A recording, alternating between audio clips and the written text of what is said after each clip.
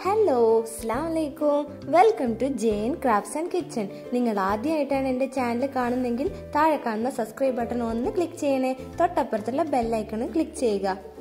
ഇന്ന് ഞാനിവിടെ ഉണ്ടാക്കുന്നത് വളരെ എളുപ്പത്തിൽ ഉണ്ടാക്കാൻ പറ്റുന്ന ഒരു ബ്രേക്ക്ഫാസ്റ്റ് ആണ്.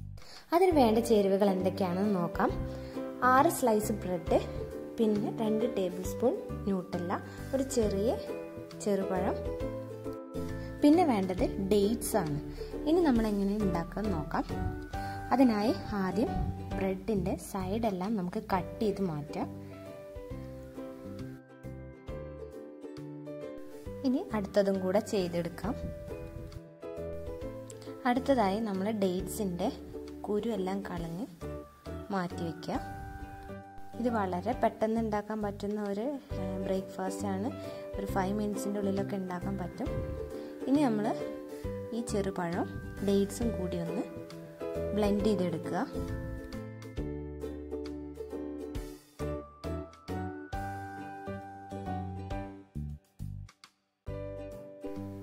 നല്ലപോലെ ബ്ലെൻഡ് ചെയ്തെടുത്തിട്ടുണ്ട്. ഇനി നമ്മൾ ഇതെങ്ങനെ സ്പ്രെഡ് ചെയ്ത് ലേയേഴ്സ് ആക്കാൻ നോക്കാം.